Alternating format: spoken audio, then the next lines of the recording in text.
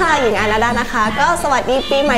2023 นะคะ ปีนี้ก็เป็นปีกระต่ายนะคะ ก็อยากให้ทุกคนดูแลสุขภาพตัวเอง แล้วก็คิดสิ่งใดก็ขอให้ก้าวกระโดดได้สมปรารถนาในสิ่งที่ทุกคนต้องการเลยนะคะ สวัสดีค่ะ